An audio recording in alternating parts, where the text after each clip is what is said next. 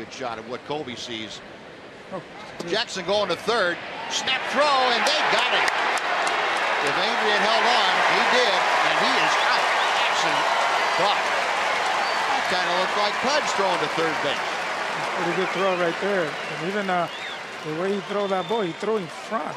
He threw that ball in front of the hitter. So